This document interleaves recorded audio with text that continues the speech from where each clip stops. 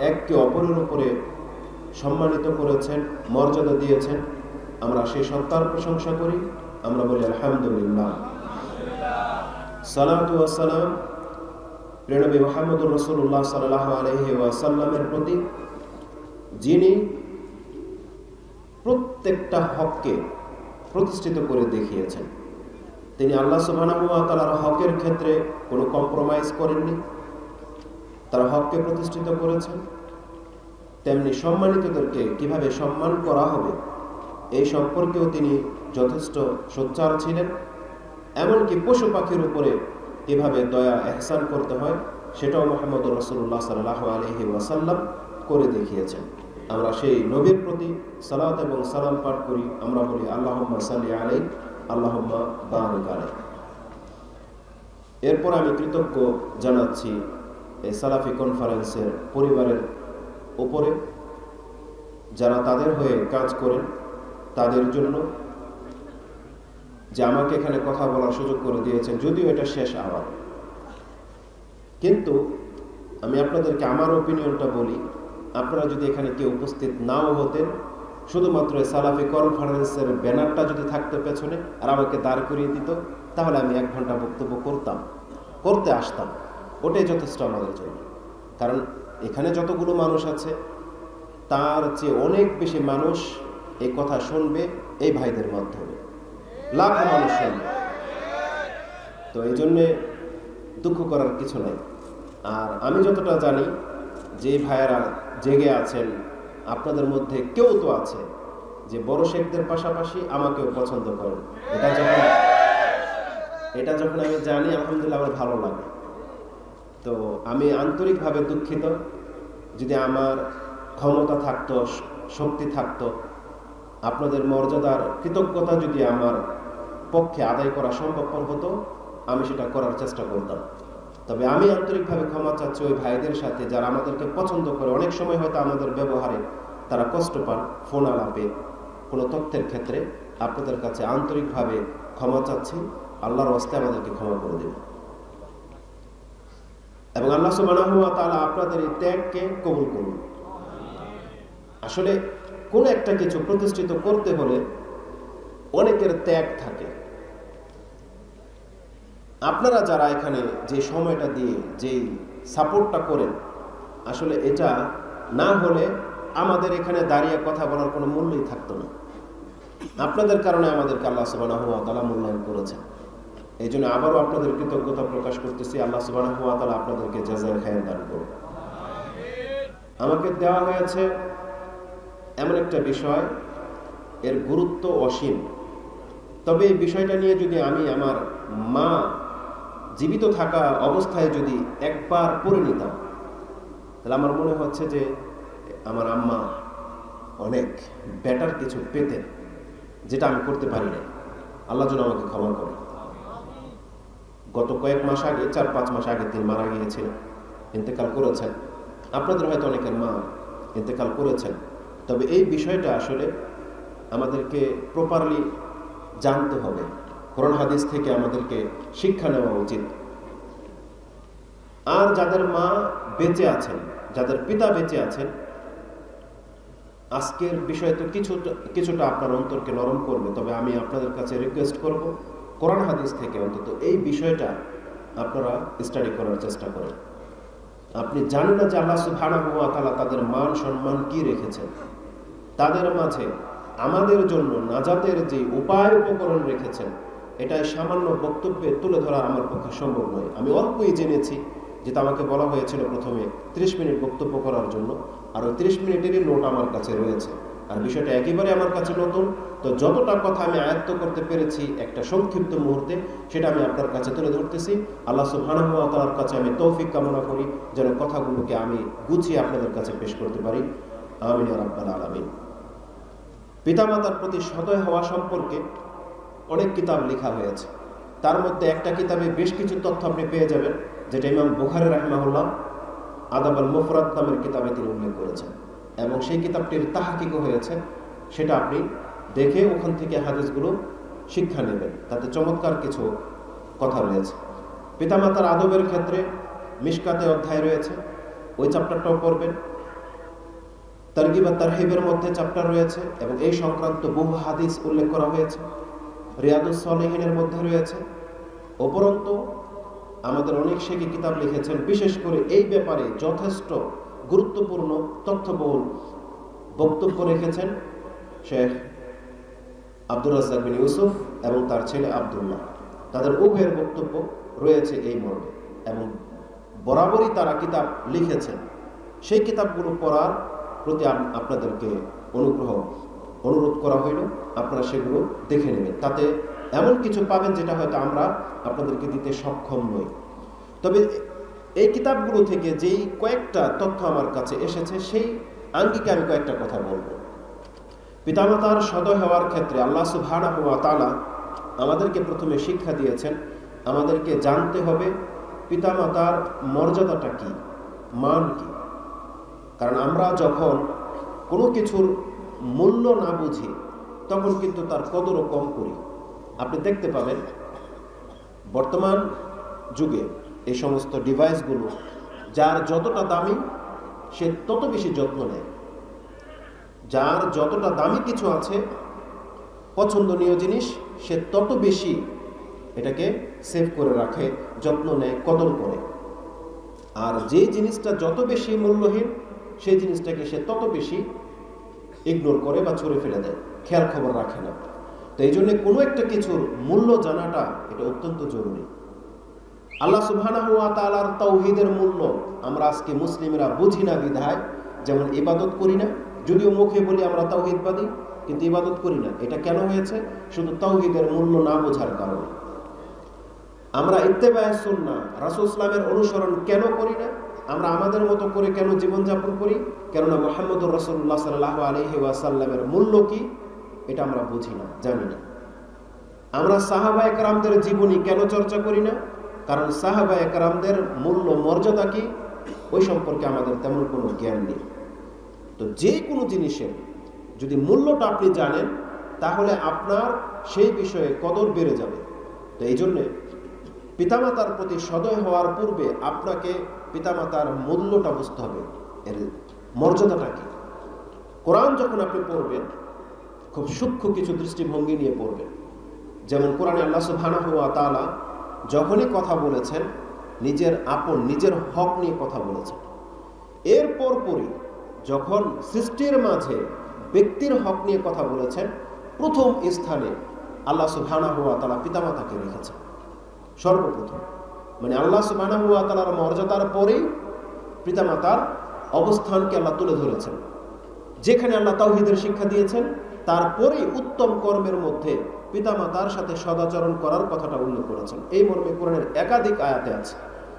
একটি আয়াত এইভাবে আছে, কোরআন আল্লাহ সুবহানাহু ওয়া তাআলা সূরা আনকাবুত 29 নম্বর সূরার 8 নম্বর আয়াতে আল্লাহ সুবহানাহু ওয়া তাআলা বলেছেন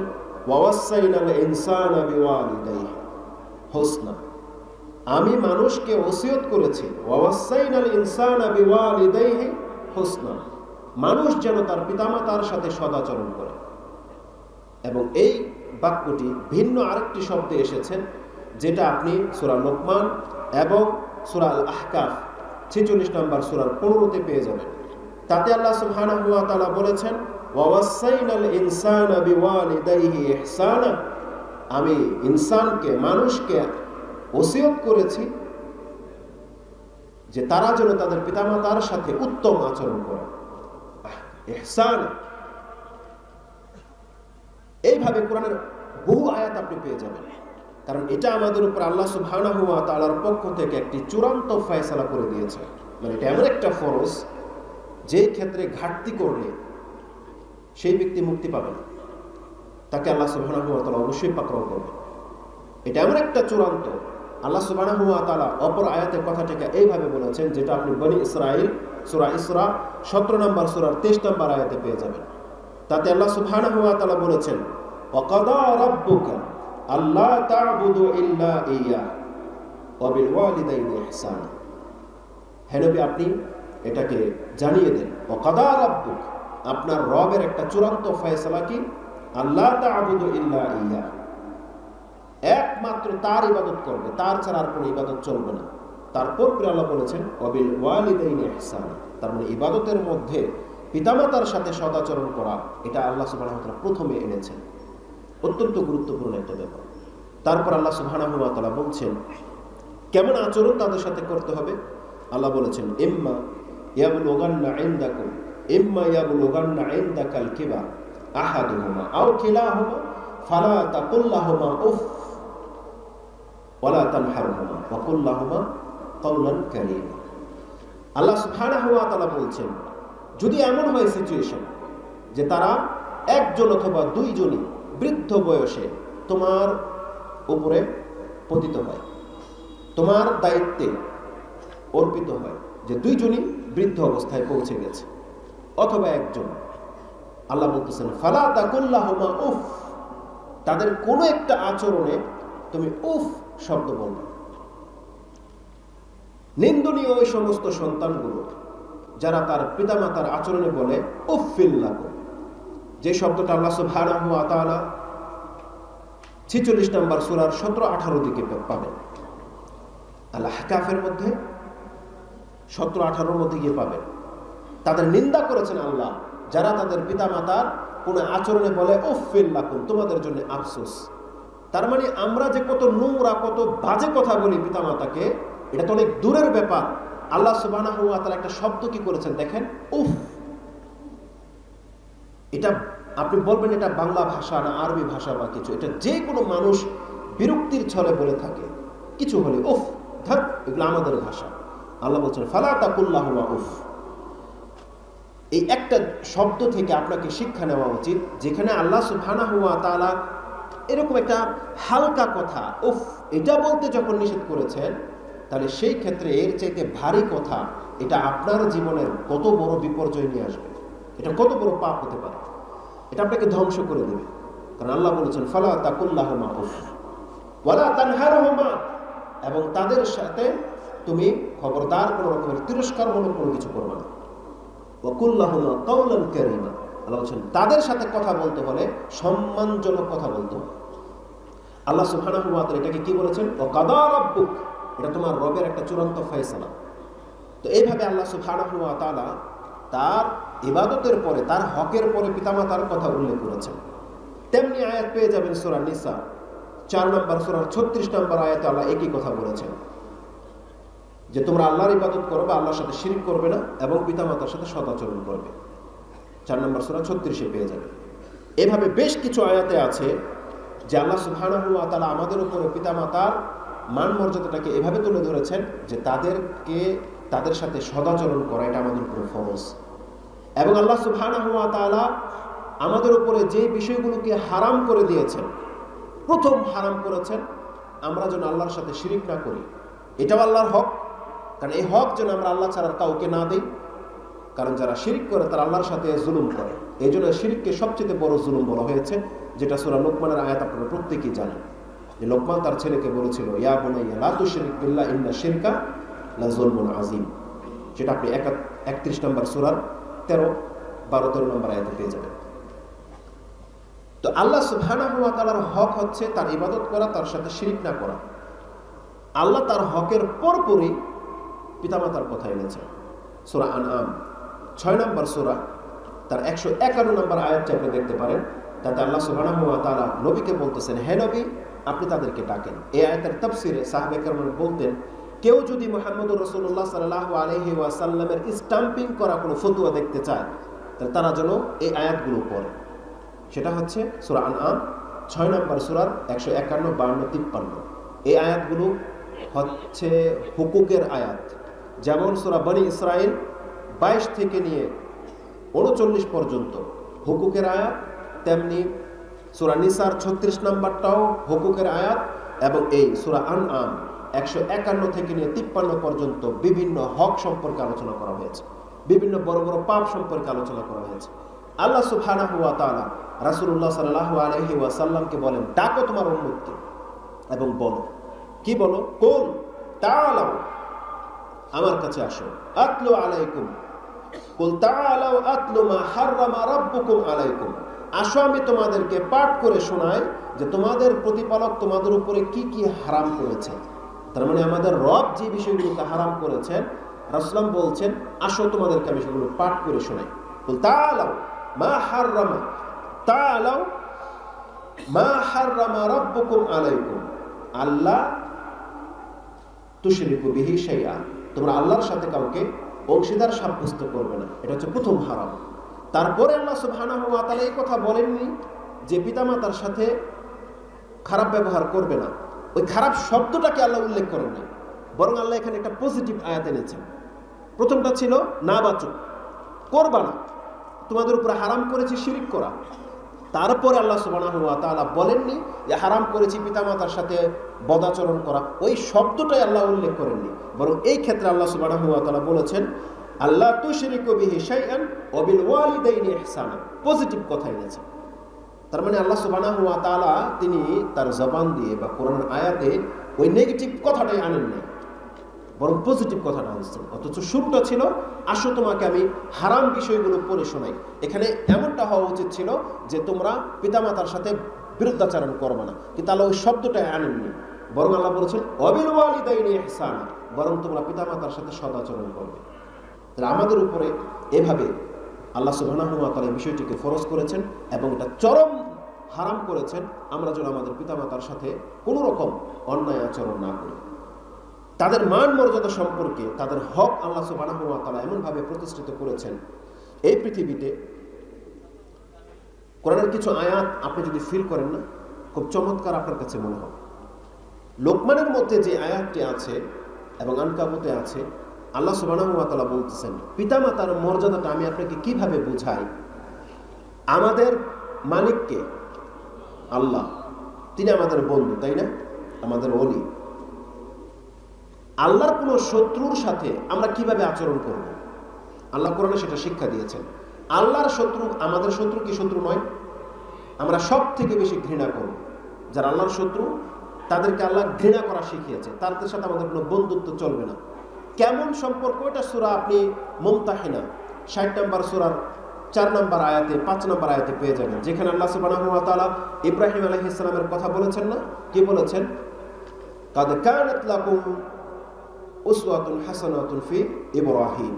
এমনটাই আছে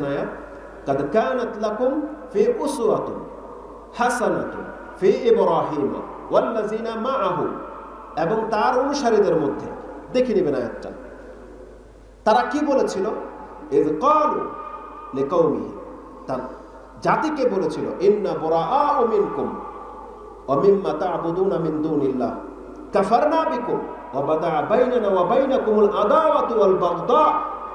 এমনটা বলেছিলেন। তোমাদের সাথে আমার চরম শত্রুতা। তার মানে আল্লাহর শত্রুদের সাথে আমাদের চরম শত্রুতা। কিন্তু আল্লাহ ওয়া বলতেছেন, সেই শত্রু যদি তোমার পিতামাতা হয় তারপরে আপনি তাদের সাথে শত্রুতা রাখবেন? আল্লাহর শত্রু। মুশরেকরা কি আল্লাহর শত্রু নয়? যারা শিরিক করে আল্লাহর সাথে, তারা তো আল্লাহর শত্রু।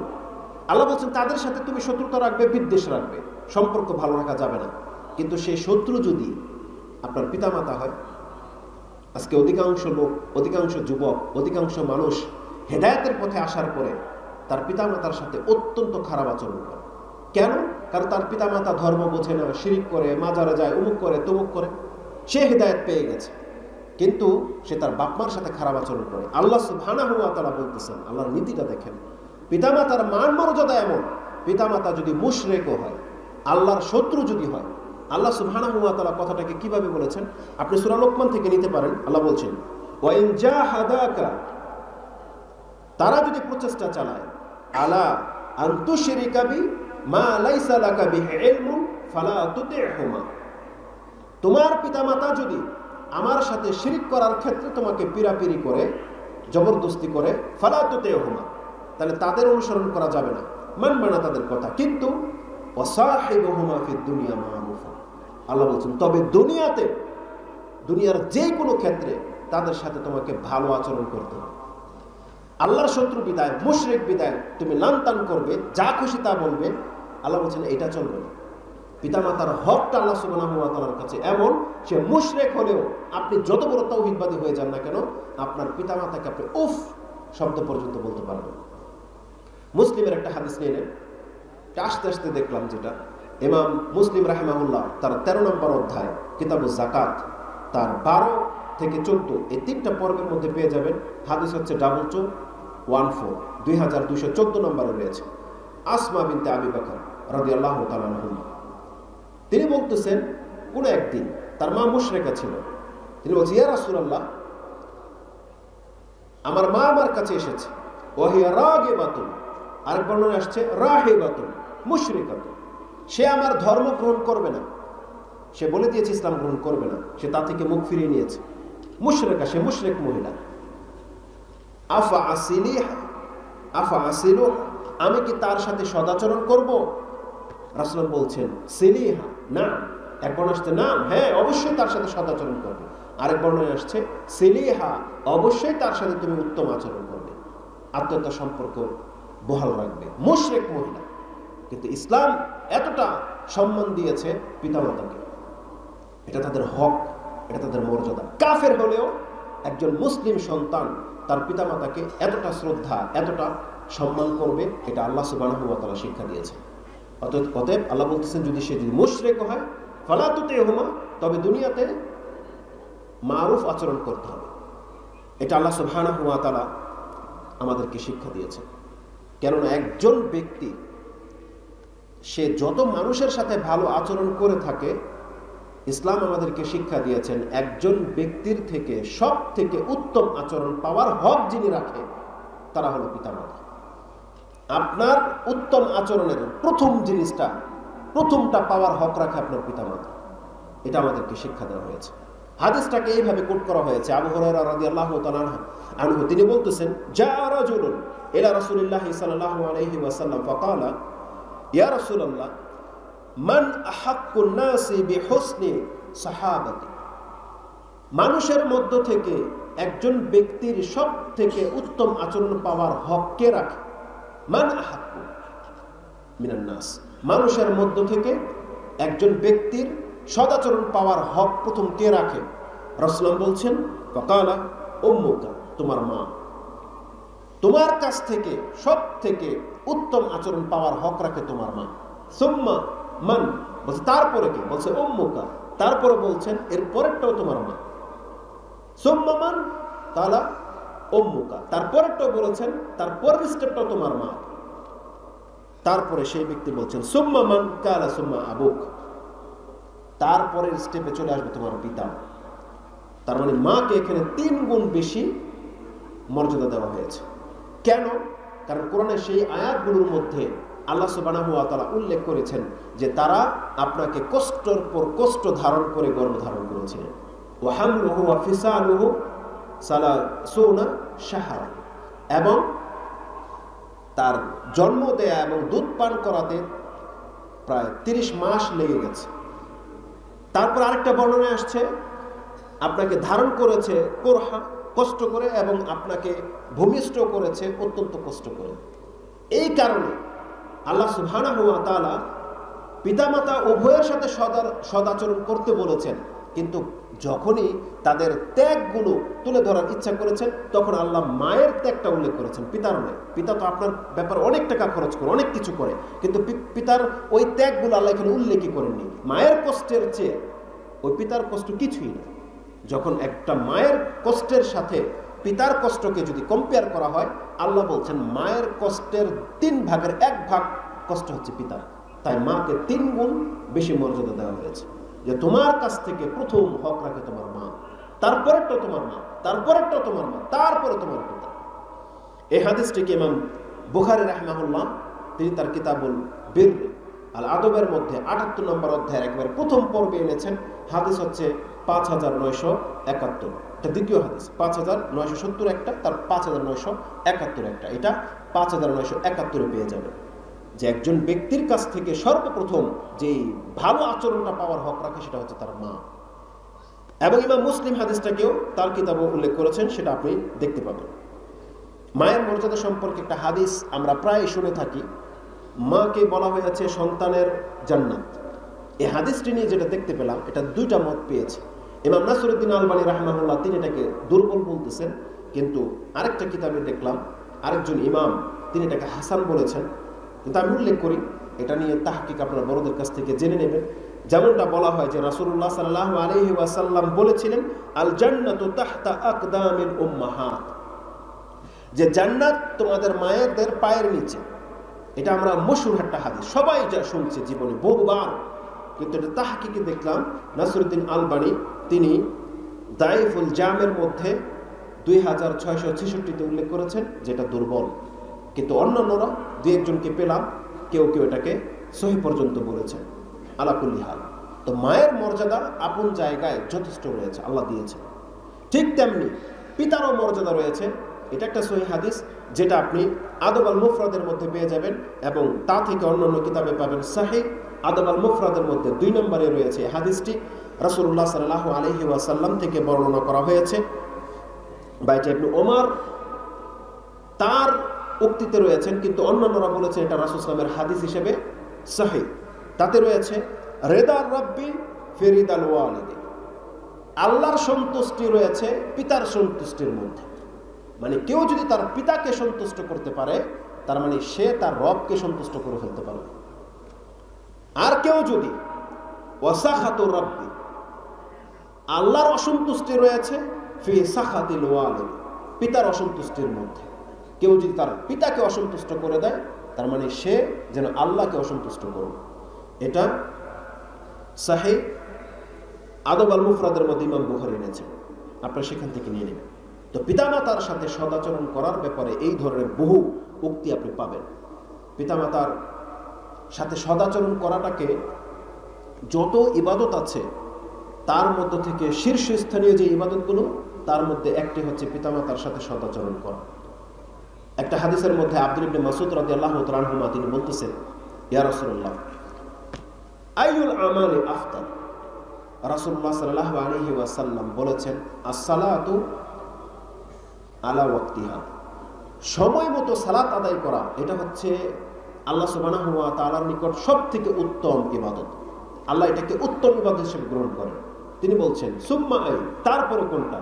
তার পরের স্টেপে রাসুসলাম বলছেন, বীরুল ওয়ালিদাই পিতামাতার সাথে সদাচরণ করা। এটা হলো পাচক্ত নামাজকে সঠিক ওয়াক্তে পড়ার পরে পিতামাতার সাথে সদাচরণ করার মর্যাদা রয়ে গেছে। বলছেন সুম্মা আই। তারপরে কোনটা? বলছেন, তারপরের স্টেপে রয়েছে জিহাদুল ফিসাবিল্লাহ আল্লাহর রাস্তায় জিহাদ করা।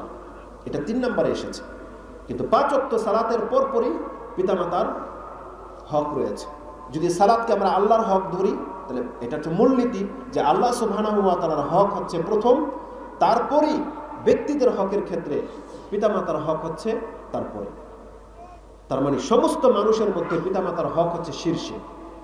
এই হাদিসটিকে ইমাম বুখারি এবং মুসলিম তারা উভয়ে তাদের কিতাবে এনেছেন, যেটা আটাত্তর নম্বর অধ্যায়ে ইমাম বুখারি এবং সালাতের অধ্যায়ে এনেছেন। এই হাদিসটা হচ্ছে পাঁচ হাজার নয়শো সত্তরে পেয়ে যাবেন এবং ইমাম মুসলিম হাদিসটাকে তিনি তার ইমানের অধ্যায়ে এনেছেন একশো বাইশে পাবেন তো ইবাদতের মধ্যে পিতামাতার সাথে সদাচরণ করা, এটা হচ্ছে শীর্ষস্থানীয় আমলদের মধ্যে একটি। এতটা মান আল্লাহ সুবহানাহুয়া তালা এই পিতামাতার সাথে সদাচরণ করার ক্ষেত্রে আল্লাহ উল্লেখ করেছেন। আল্লাহ সুবহানাহুয়া তালা কোরআনের মধ্যে কিছু নমুনা উল্লেখ করেছেন, যেটা আমি শর্ট করে দেব, বেশি রাত হয়ে গেছে। কীভাবে আপনি পিতামাতার সাথে সদাচরণগুলো করতে পারেন? তার দুই একটা নমুনা উল্লেখ করি। তার আগে আরেকটা হাদিস একটু বসে বসে দেখলাম এখানে। ওটা আপনার মিসকাতে উল্লেখ করা হয়েছে তিরমিজি থেকে। তাতে কি আছে জানেন? একজন ব্যক্তি রাসুল্লাহ সাল্লাহ আলহি ওয়াসাল্লামের কাছে এসে বলতেছেন, ইয়া রসুল্লাহ আমি অনেক বড় একটা পাপ করে ফেলেছি। তিনি বলতেছেন, ইয়া রসুল্লাহ এমনি আসাবতু আমি একটা বড় পাপ আমার দ্বারা হয়ে গেছে। ওই পাপ থেকে তওবা বাঁচার কোনো পথ আছে? রাসুলাম বলছেন, কালা হাল্লা কামিন উম্মি। তোমার কি মা আছে? কালালা তিনি বলছেন, আমার মা নেই। তার মানে বোঝা যাচ্ছে যে মায়ের সাথে সদাচরণ করলে ওই যে যে বড় পাপটার কথা সে সাহাবি উল্লেখ করতে চেয়েছিলেন, ওটা মাফ হয়ে যেত।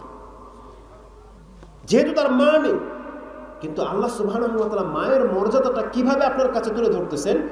যে তোমার মা নেই বলছিল্লা কালা ও হাল্লা কামিন খালাতিন। তবে কি তোমার খালা কি আছে বেঁচে? বলছে, না। হ্যাঁ আমার খালা বেঁচে আছে। রাসলাম বলছেন, কালা ফাবার রেহা তাহলে তুমি তোমার খালার সাথে সদাচরণ করো। তার মানে আজকে আমরা যারা মা হারিয়েছি, যদি আমাদের খালা থেকে থাকে, তাহলে আমাদের খালাদের সাথে মায়ের মতো আচরণ করতে হবে। কারণ একটা বর্ণনা রয়েছে আল্লাহ। সাহেব আদাব আল মুফরাদের সাত নম্বর ইমাম বুখারি রাহমাহুল্লাহ, এর তফসিরে তিনি ওরওয়া ইবনে জুবায়ের রাদিয়াল্লাহু তাআলা থেকে একটা তাফসীর কোট করেছেন। তিনি বলতেছেন রাহমা। এর মানে কি? তিনি বলতেছেন, লা তামতানি মিন শাইইন তোমার যেই কাজগুলো করতে, বলতে, খেতে ভালোবাসে, তোমার কাছে পছন্দনীয় হোক বা না হোক, তাদেরকে তুমি বাধা দিও না। আল্লাহ যে বলেছেন, পিতামাতার ক্ষেত্রে তোমার বাহুকে নমনীয় করে দাও। এর মানে তিনি বলতেছেন, তোমার কোনো কিছু অপ্রীতিকর মনে হতে পারে, তোমার কষ্ট হতে পারে, মেনে নিতে তোমার আপত্তি হতে পারে, কিন্তু তারা যেটাকে পছন্দ করে, তুমি সেই কাজে বাধা দিও না। কোনো কিছু খেতে চাইলে, তোমার সাধ্যে না থাকলে বাধা দিও না, যতদূর সম্ভব এনে দাও। তারা কোথাও যেতে চাইলে, কোনো কিছু কিনতে চাইলে, কোনো কিছু করতে চাইলে আপনার সামর্থ্যের উপরে থেকে তাদেরকে সেটা করতে দেন, বাধা দিন না। বিশেষ করে আমাদের পিতামাতাদের কিছু বদ অভ্যাস থাকে। কেউ হয়তো জর্দা খায়, বাবা দেখা যায় সিগারেট খায় বা কোনো রকমের একটা আপত্তিকর কিছু থাকে। আপনি দিন পেয়ে গেছেন। আপনি তখন কি হয়ে যান? কর্তা হয়ে যান। আপনি বাবার উপরে, মায়ের উপরে জবরদস্তি করেন। না, চলবে না। আমার আপনার কাজ হচ্ছে তাদেরকে নিষেধ করা, শুধু বলা যেগুলো হারাম, জায়েজ নেই খেয়েন না। এগুলো ক্ষতিকর। কিন্তু সে যদি না মানে তাকে জবরদস্তি করার ক্ষমতা আল্লাহ আমাদেরকে দেয়নি। বলছেন তারা যা কিছু পছন্দ করে, তার কোনো ক্ষেত্রে তোমরা তাদেরকে বাধা দিও না। এর মানে হচ্ছে জানাহা তাহলে আল্লাহ সুবহানাহু ওয়া তাআলা আমাদেরকে শেখাচ্ছেন যে, পিতামাতার সাথে সদাচরণ করার একটা নমুনা হলো তাদেরকে তাদের স্বাধীন মতো থাকতে দেয়া। যতদূর সম্ভব তাদের ক্ষতিগ্রস্ত যেন না হয় সেই দিকে আমরা খেয়াল রাখব। কিন্তু জবরদস্তি করার ক্ষমতা আল্লাহ আমাদেরকে দেননি। তারপরে নমুনা হচ্ছে তাদের জন্য দোয়া করা। আপনি যদি পিতামাতার সাথে সদাচরণ করতে চান, তাহলে আপনাকে প্রতিনিয়ত আপনার পিতামাতার জন্য দোয়া করতে হবে। আমাদেরকে আল্লাহ সুবাহ সেই দোয়া শিক্ষা দিয়েছেন কামা এই দোয়া তো হয়তো আমরা হয়তো সপ্তাহে জীবনে একবার হয়তো করি না। যখন হয়তো স্মরণ হয় তখন। কিন্তু এটা আমাদের প্রতিদিনের একটা পাঠ হতে হবে। আমাদের দোয়ার একটা অংশ, পাঁচ অক্ট আমাদের এটা হতে হবে। যে আমরা আমাদের পিতামাতার প্রতি দোয়া করব, রব্বের হামহুমা কামা রব্বায়ানি সাগিরা। এটা তাদের হক, এটা আল্লাহ তাদেরকে দিয়েছে তেমনি তাদের হককে পুরা করার ক্ষেত্রে আরেকটি দোয়া রয়েছে, যেটা বলে দিয়ে আমি আমার বক্তব্যকে সমাপ্ত করে দেব। সেটা সুরাল আহকাফ, যেটা ছেচল্লিশ নম্বর সুরার। পনেরো নম্বর আয়াতে আল্লাহ সুবাহ উল্লেখ করেছেন। সেই আয়াতের মধ্যে আল্লাহ সুবাহ পিতামাতার অবদানটা আমাদেরকে জানানোর পরে বলতেছেন, মানুষ যখন পরিপক্ক হয়ে যায়, তাকে এই দোয়া করা উচিত। আল্লাহ সুবাহ বলছেন, হাত্তা বালাগা আরও সানা যখন সে চল্লিশ বছর হয়ে যায়, তার মানে এখন সে পরিপক্ক। এই ধরনের ব্যক্তিদেরকে প্রতিনিয়ত এই দোয়া করা উচিত। সেটা কি? সে বলবে, রব্বি আলহেমনি মানে আল্লাহ আমাকে তুমি তৌফিক দাও। রব্বি আউজেনি আন আশকুরা আন আমতা আলাইয়া। আন আমতা আলাইয়া ওয়ালা ওয়ালিদাইয়া। এই শব্দটা আমি দেখানোর ইচ্ছা ছিল। আমাদের পিতামাতা অনেক সময় হয়তো আল্লাহর পক্ষ থেকে যা কিছু প্রাপ্ত হয়েছেন, তার সুক্রিয়া হয়তো প্রপারলি আদায় করতে সক্ষম হননি। তারা হয়তো মরে গেছেন। কিন্তু তাদের হয়ে আমাদেরকে আল্লাহ শিক্ষা দিয়েছেন যেন আমরা আল্লাহর কাছে দোয়া করি। কি করে আল্লাহর কাছে? যে আল্লাহ তুমি আমাদেরকে তৌফিক দান করো। রব্বি আউজেনি আন আশকুরা নিয়ামাতাক, নিয়ামাতাকা আল্লাতি আন আন আমতা আলাইয়া ও আলা ওয়ালিদাইয়া। আল্লাহ, তুমি আমার উপরে যে নিয়ামত দিয়েছ এবং আমার পিতামাতার উপরে যে নিয়ামত দিয়েছ, আমি যেন তার শুক্রিয়া আদায় করতে পারি। তার মানে আপনার পিতামাতা যদি সেক্ষেত্রে ঘাটতি করে থাকে, তারা যদি অপারগ হয়ে থাকে, তারা যদি অবুঝ হয়ে থাকে, তাহলে সেই ঘাটতিটা আমাদেরকে পুরো করতে হবে। এই জন্য আল্লাহ সুবাহ আমাদেরকে দোয়া শিক্ষা দিয়েছে। যেটা পনেরো নম্বরে রয়েছে, আমরা সেই দোয়া মুখস্থ করব এবং প্রতিনিয়ত আমরা সেটা বলব। আল্লাহ সুবাহ পিতামাতাকে এতটা মান দিয়েছেন যে প্রত্যেকটা ব্যক্তি এই পৃথিবীতে অস্তিত্ব পেয়েছেন এই পিতামাতার মাধ্যমে। এটা ভুলে গেলে চলবে না। সর্বশেষ যে কথাটা আমার নজর কেড়েছে, যেটা আমি বলে দিয়ে আমার বক্তব্য শেষ করে দেব। কোনো এক ব্যক্তি তাওয়াফ করছেন, তার মাকে কাঁধের উপরে উঠিয়ে, পিঠের উপর উঠিয়ে তাওয়াফ করছেন তার মাকে নিয়ে। এবং বলতেছিলেন এই কথা যে, আমি আমার মার সাওয়ারি, আমি তার গাধা মানে ওট বা গরু, আমার উপরে আমার মা হচ্ছেন সাওয়ারি, আমি তার বাহন, তার পায়ের আঘাত আমার কোনো কষ্ট হবে না। এটা বলে বলে তাওয়াফ করতেছে মানে সন্তুষ্টি প্রকাশ করতেছেন করে তিনি তাওয়াফ করলেন। তারপরে তিনি ভাবলেন যে আমি হয়তো আমার মার একটা বড় কিছু করেছি। তখন তিনি ইবনে ওমর রাজি আল্লাহ তালুমার কাছে এসে বললেন, কালা, ইয়া ইবনে ওমর আতারানি, আপনি কি দেখেছেন বা বলতে পারেন আমার সম্পর্কে? যাজাই তুহা আমি যে আমার মাকে নিয়ে কাঁধে করে তফ করলাম, আমি কি তার কোনো এহসান করতে পেরেছি? তার কোনো হক কি পুরা করতে পেরেছি? সুবহানাল্লাহ। তিনি বলছেন লা তুমি তোমার মার কোনো হক আদায় করতে পারো না। বরং তিনি বলছেন, ওয়ালা বেজাফরাতিন ওয়াহিদা বরং তুমি তোমার মার একটা দীর্ঘ নিঃশ্বাস পুরা করতে পারো। না তুমি তাকে নিয়ে যে তাওয়াফ করলে, কাঁধে নিয়ে, তোমার মার কষ্টের ক্ষেত্রে, তোমার ক্ষেত্রে যে কষ্ট তিনি ধারণ করেছিলেন, তার একটা দীর্ঘ শ্বাস তার বদলা পর্যন্ত হয়নি। তাহলে অতএব আমরা আমাদের পিতামাতার জন্য যে যতটা কিছু করছি, আপনি জেনে নেন, আল্লাহ সুবাহ বলতেছেন, বান্দা তুমি তোমার মায়ের সামান্য তুমি কিছু করতে সক্ষম হওনি। আমাদেরকে তাদের প্রতি অনেক বেশি দয়াবান হতে হবে। প্রতিনিয়ত যারা মারা গেছেন, আমি দোয়া করি, আল্লাহ তুমি আমার এবং আমাদের ভাইদের, মাদেরকে ক্ষমা করে দাও। যারা মারা গেছেন, আমাদের পিতাদেরকে ক্ষমা করে দেন এবং আমাদের আত্মীয় স্বজনের মধ্যে যারা নানি, দাদি যারা আছে, তারাও আমাদের পিতা মাতা আল্লাহ তাদের প্রত্যেককে কবর আজাব মাফ করে দেন। তাদেরকে আপনি জান্নাত নসিব করেন। তাদেরকে আপনি জান্নাতুল ফেরদৌস দান করেন। এবং আমাদের যাদের পিতামাতা বেঁচে আছেন, অথবা কোনো একজন বেঁচে আছেন আল্লাহ, তুমি আমাদেরকে, আমাদের অন্তরের সংকীর্ণতা, নোংরামি, খারাপি দূর করে দাও। অন্তত পক্ষে তাদের সাথে যেন আমরা কোনোদিন বেদবি না করি এবং তাদের চাহিদাগুলো যেন আমরা পুরো করতে পারি। আল্লাহ, তুমি আমাদেরকে সেই তৌফিক দান করো। এবং পরিশেষে আমি আপনাদেরকে, এই কর্তৃপক্ষকে এবং যারা আমাকে সুযোগ করে দিয়েছেন, আমি প্রত্যেকের কাছে কৃতজ্ঞ, ঋণী। আল্লাহ সুবহানাহু আমাকে এবং আপনাদের সহ প্রত্যেককে যাজায় খায়ের দান করুন এবং আমাদেরকে কথাগুলো মেনে চলার তৌফিক দান করুন। সুবহান রাব্বিকা রাব্বিল ইজ্জাতি আম্মা ইয়াসিফুন ওয়া সালামুন আলাল মুরসালিন। আলহামদুলিল্লাহি রাব্বিল আলামিন। আসসালামু আলাইকুম ওয়া রাহমাতুল্লাহি ওয়া বারাকাতুহু।